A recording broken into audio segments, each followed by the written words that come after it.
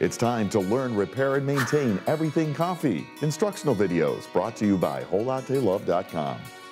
Hi, I'm Todd with Whole Latte Love. We have Marc behind the camera. And Todd, you got a big smile on your face because we've got something pretty darn cool here, right? Yeah, we have an ECM machine that's been cut open so you can see inside of it. You can see inside the boiler, see inside some of the valves, the solenoid valves, and that way Even we can the show you how the whole, E61, right? Yeah, the E61. We can show you how the whole thing works. I mean, really dig in. Yeah. So we're going to follow the path of the water flow as it goes, go through each valve and each fitting, and end up in the E61. Then we'll give a really good description how the E61 works. So there may be a few mysteries you've had, uh, you've seen about these machines, and now we're going to solve them. Cool. This is it's a good opportunity, and I'm looking forward to it. Okay. So we're going to follow water flow through the machine. And, And yep, so the water comes either in through the water line connection or through where the reservoir connects. You have a valve here that controls which one you're drawing from. Water flows through this stainless steel tube here, braided tube, into the pump, out of the pump, and through this braided stainless steel line. Now, here's your brew pressure control here. That just controls how much water the, is going to bypass, therefore how, you know, keep circulating within the pump instead of sending it out to the machine. That's how you control your brew pressure. okay. They don't have a cutaway of that, but we don't need that. Okay, so the braided stainless steel line, which actually is a great feature to have this. There's no Teflon tube in here. This is very durable, uh, very good quality. So water comes through here to this T. This goes up to your brew pressure gauge, and this then over to this T, and water picks one of two paths. One goes towards the brewing system, one towards filling the boiler with water for the boiler fill. So we'll go this way first. Okay. Goes through your solenoid valve. In the cutaway here, you can see there's the, the, uh, the coil, that's copper. So this basically is a magnet that has a plunger in there. It controls, Oh, you've got more toys over Yeah.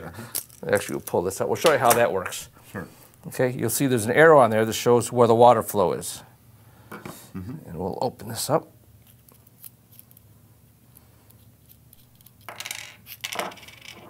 Then we'll open this up and show you how that works. So the water comes in this side and goes up, see that opening there? Then when the valve opens, this port is open, the water comes down through here and out the other side. They do it this way. If the water came in through this side, the pressure for the water might actually push the valve open. That's why it's important to have it go the right direction. So inside of here, here's your valve seat right there. Mm-hmm. And so here's your plungers, has a little spring on top. Magnet gets energized, pulls this up. Kind of show, here's a magnet. I kind of want to show you how this thing works Sure. Real quick. Trying to keep moving here. We'll get some power to it. More power. So when I plug this in, it'll become magnetized.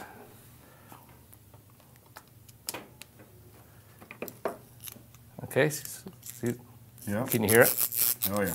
When you unplug it, drops that, out. That goes away. Okay. Yeah. So that's oops, that's the magic behind that. So up through the solenoid valve, through a check valve. Okay. We'll spend a couple seconds on this. Uh-huh. It's actually a really nice valve. And the check valve. Well, the purpose of that is to keep water from the boiler pushing back down to the solenoid valve, going the opposite way where we can actually open that solenoid valve. Remember how I showed you that? Yep. How we, pressure could open that? This will keep that from happening. Okay. So inside here, you've got your spring. Mm-hmm. Then I'll dump this out. And then you've got a little metal washer. Mm-hmm.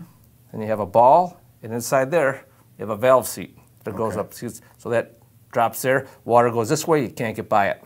Okay. Another little valve seat there. So when that screws into or drops into here, it seals real nice. And there's a little spacer in there. Okay, so once we get through this check valve, we just go directly into the boiler. It fills that up. I'll kind of stick with that for a minute. The Yeah. boiler level is controlled through this probe here. There's normally a Which we wire that goes to that. See deep inside the little stick sticking down there. Yep. Yep. So the water level is approximately there. Okay. When this senses that there's no water in it, it sends a, like a little charge through the water to the mm-hmm. case. Then it knows there's water. When the water level goes down and it can't do that, the board senses it, turns the pump on, goes through the solenoid valve, and fills the boiler. Okay. So let's follow the other path. Mm-hmm. Okay, we're back to the T here. Again, through another check valve, They always like check valves, so it doesn't send any water back. Goes out the other side, underneath the pump. Mm-hmm. Comes over to here. Now this goes up towards your heat exchanger in the machine, which is right in there. So that's the element to heat it, and then There's- back behind Well, there. behind there, we're behind there is a heating element. Yeah. But this is really cool how this works. Okay, so the, the key with the E61 group, like we have here, is that water circulates through this group all the time to keep it hot. Right. It comes, and when you look over here, you'll see two tubes, one there and one here. The hot water goes in there, mm -hmm. it comes down, as it cools, back to this other tube, which brings it right down over to here, back to this valve. And you can see, so the water comes from the pump, comes up through here, through this copper tube, but there's an opening around that there, so the water can circulate. The cold water coming back goes through here, goes back up around this copper tube into the mm-hmm. heat exchanger. Which, and that's cut away, so it's, Yeah, yep. Yeah. Through there, then up to the group, and then back down again. That's how you get this, the thermal uh, siphon system working on this. so water is just constantly circulating no matter, you know, as long as the machine's on and warmed up. and hot. You got it. So when you're brewing, the water comes through this tube here, through this tube, comes out here into the heat exchanger, pressurizes this, which forces water up through this tube here and out to the brew group, which we'll go over in a minute how that works. Uh, they always they go to the center of this. That way you, you mix the water. You, Okay. you always keep it mixed. So the water that's coming through the thermal siphon kind of comes around the edges of that Yeah. tube and not through it. right through there. Yep. Okay.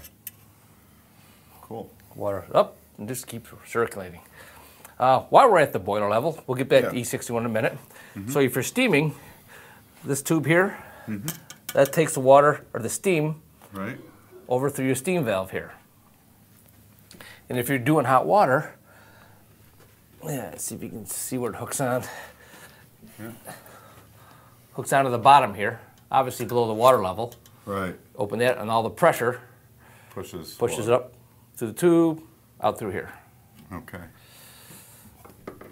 Let's take a look at these valves for a minute. Sure. As long as we're looking at valves. So these are pretty cool valves. So When you- lever style. Yep, lever style. So you notice when you push on it here, it opens up there. So this hot water steam comes through here. You can't get anywhere because Mm-hmm. this valve seat right there is stuck up against here, right. the brass here. When when you open this, it allows the pressure to come through and out and down, whether it's steam or hot water. Right. So they. So it's nice. The only pressure holding this on here is just the spring. So it's not like taking a, screwing down a valve where Right. you screw it constantly and you can overpressurize it and damage it. damage the valve. So that with the spring, it's a it's more reliable, longer lasting sort of setup. That is correct. Let's see. Kind of want to show you how these the steam wands stay. in. You notice how they stay up. And you're just like, well, how does it do that? um, here's what you got. Uh, you'll have a gasket there, and then you have this brass piece here that's it's milled to fit right onto the ball here, and the spring goes up. But so that's the pressure on this spring when you tighten the nut down that holds this up. Keeps that in position. Yeah, so if you ever notice your your wand is drooping a little bit, you know, Might probably need a spring. You might be able to extend it out a little bit. Okay. But that's not a normal thing that really happens. Okay. So I wouldn't worry too much about that. Uh, pressure stat, as long as we're here, takes the pressure off the top of the, sensitive pressure off the top of the boiler here, Mm-hmm. up into here, um, And that's what turns on the heating element, Yep. basically. controls the heat. On top of the boiler, we got two little gizmos here. We have a vacuum relief valve, and we have a pressure relief valve, also known as a safety. Okay. So in the vacuum relief valve, you can, if I can pull that up, Yep. you see that rubber Yep. O-ring right there? That goes up, seals against this Teflon. So, sometimes before the machine heats up and you hear some a little bit of hissing inside for a moment, Yeah. that's before that valve's closed, right? Yes, exactly. The purpose of this is open it to the atmosphere. Mm-hmm. So as you're heating, the water can boil off and heat up before. Mm-hmm. If this was, if this didn't have it, a few things could happen. First, you can get a vacuum in here. Sometimes, if you go to steam milk, mm-hmm. it could suck milk up your steam wand into the boiler, and that's a real mess. And second, all, it allows it to heat better. Okay. So the steam will come blasting through there. When it gets picks up enough velocity, it'll close. It closes that valve up. Okay. So just maybe you can see a little better here. Sure. Okay. So there's your rubber. Mm -hmm. Feels up against that Teflon right there. Notice how this is shaped. So this can catch the steam real nicely So and it force pushes it up. Okay. Yep. Here's your safety valve. Well, a little different. I have one here. And basically, it's very simple. It's got a spring on it, which holds this down, which, hang on, let me. If you look up in there, you can see the Teflon on that. Yep. Okay, the Teflon seal. So if it overpressurizes, it just pushes up against that spring and blows steam off through these holes. That's essentially so the boiler doesn't explode Yeah. at some point if you went way too far. Yeah. We bypass the OPV. Oh, Don't yeah. want to do that because all machines have OPVs.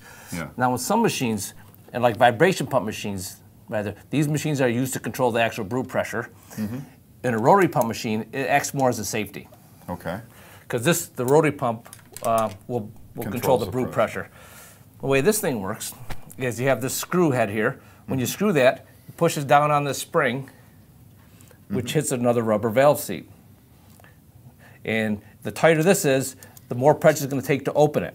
Mm-hmm. When it, you have enough pressure that pushes this open, the water will bypass that, come through your tube, and off to a drain someplace, either a drip tray or reservoir, depending on the machine. Okay. So if you have a vibration pump machine, you'll probably set this between 9 and 10, depending on the machine. So that's yeah, vibration pump that would be used to actually set your brew pressure. Set brew pressure. On these, we just set them up to around 11 or 12, just in case something happens and overpressurizes. Okay. Okay. Looks like we're getting to the brew group. Yeah. Okay, this is really cool. Okay, let's we'll kind of work our way through this and show you how this works. Okay. First, I'm going to take some stuff out of here so you can you can see. See what's going on. See these two holes? So that's, That's where your thermal siphon works. So the hot water comes through this, comes down into here, Mm-hmm. as it cools, and goes back to the boiler. So it just keeps circulating, Circulating. through there all the time. Yep. Now, normally your brew lever here Mm-hmm. is in the down position. So you notice that's closed. When you raise this up, it opens, allows the water to flow through here. Okay. And then what I'll do to flow down, now this, we, uh, there's a marker on here that shows the water flow because they didn't cut right through the center of the hole. But the water will come, then come up through here, down through here, through your dispersion plate, Right. out the coffee. Now that's only part of the fun. It's a pretty involved little piece of. Uh, Yeah, let's, uh, let's see. So how this works. okay. So, there's Little screen. In screen in there. There. Okay. Okay, so this this piece is, is down on top of here. Mm-hmm. Yeah, so what's the best way to show this? Well, you see these little holes here. So the water comes through that top hole, then goes back down through that to heat it. When you turn the pump on, this pressurizes, pushes water up through these small holes here, mm-hmm. up into this chamber where this fits onto here. Did you get that okay? Yep. Yep. through this screen, through this orifice, down through here, and down th- through the opening Which is down right. right there. Okay. So just the, the top of that, that, that, it's that tiny little orifice where all your brew water is going through. Yep. That little guy. Yeah, through these four, then through this one up- here. Yeah. So if you raise the lever, the pump goes out, but no water's coming through, that may be plugged. Okay. You know, if you get some minerals, calcium, Mm-hmm. or some gook somewhere. so that's how the top part of the group works. Okay. The bottom, right here, it has two springs with valve seats in here. So when you, you raise it up, mm-hmm. it closes. These close. The springs push everything closed. When you push it back down, it opens both of them. Can you see them both moving? Yep. There's two because you have so much pressure coming from the brewing system that you mm-hmm. don't want it to push this open. Okay. So that's why they have two in there. Lower it down. That's when you lower your brew group handle down, brew lemming down. You get like a psh Right. coming out. Releases the pressure from your coffee through your that tube, Right. through that, down through here, back down to your drip tray. Your drip tray. Cool. Now you might be wondering how that all works inside of here. It works off a cam. So you'll have, let's see, that there, okay? Mm-hmm. So when you raise the lever, sorry about moving around so much, No, that's okay. turns that cam, pushes that up. When you put it down, that cam pushes a very similar one like this down to open it. Right. Okay. That's how that works. There's a couple of little things in here we'll just kind of review. Yeah. Uh, you have a couple high limits here. Uh, these are reset manual resets. If the o- machine overheats or there's some sort of malfunction, these may pop up, like you see on a turkey, you know, when they're Yeah, done. yeah. Just push it down and you hear a little click.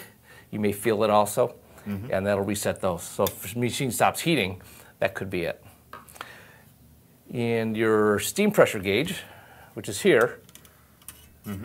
has a tube that runs over the top of your steam boiler right here. Okay. That's where it senses the steam pressure. There's a hookup for your heating element. Oh, what, oh, we can take a look at. There's a little cutaway of the uh, of the wand over there on the other side, on the steaming side, so you can see how that kind of the anti-burn sort of system works in a lot of these machines. Yeah. Mm-hmm. Right over here. So there's a tube inside the tube Exactly. So there's a Teflon tube inside of here. that goes all the way down. You know, so they do get warm because the Teflon tube obviously comes in contact with the steam wand. They get warm, but they don't get stupid hot, right. or it's going to hurt. And on this particular machine, there's an O-ring there, and when you have the seam tip on, there's actually another O-ring that seals around the Teflon here. So there's there's dual O-rings. Right. I think that covers pretty much everything. So you know, it seems like such a simple thing to you know put some hot water over some coffee under pressure, but it really takes a little bit of thought. Yeah, I mean, this E61 has been around for a long time, too. Yeah. Um, does a fantastic job. So we like it. And they're not that hard to service either. As you can see, just a few pieces. I mean, it's not a big deal. All right. Yeah, so good. Well, I hope that helps you. Hope solve some mysteries for you. All right. I'm Todd with Whole Latte Love, and that's Marc, and thanks for watching.